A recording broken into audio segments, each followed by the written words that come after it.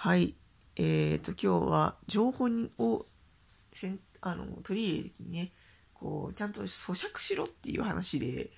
えっ、ー、とね、まあ、トランプ氏とかがね、今だ、アメリカの大統領でね、なんか結構問題になってるっていうか、まあ、いつも時代もあるような話ですよね。なんか、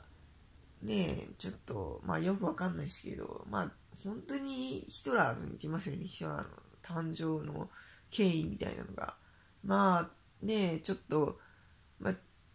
若干ね、ドイツの場合は、まあ、第一次世界大戦に負けてたっていう、負けたから多大なね、あの、賠償金があったと。で、まあ、賠償金なんかね、払えないですよね。それなんか高くでさ、まあ、でね、ハイパーインフレが起きて、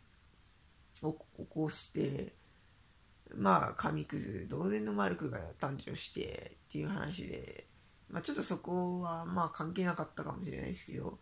で、トランプ氏は今度は、なんだ？えっ、ー、と、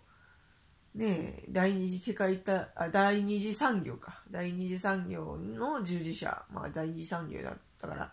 あれですね、車とか、いわゆる半導体とか、で、物になってる。今、サービスとか、情報とかの第三次産業じゃないですか。で、今は第二次産業。で、えっ、ー、と、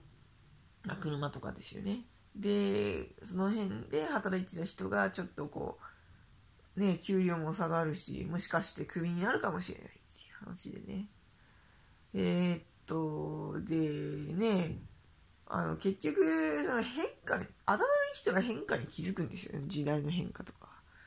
で、ね、もうとっくにね、もう10年前、20万年前、30年前に、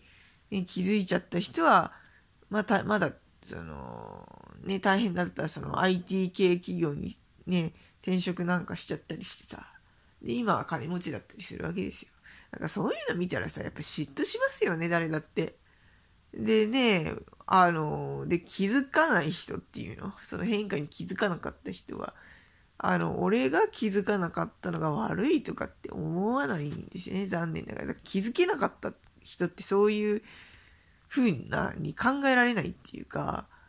まあだから社会が悪いとかになっちゃうんですよね。なんか俺こんな頑張ってるのにね、なんで報われないんだろうみたいなね。政治が悪い、社会が悪いっつってね。で、まあ、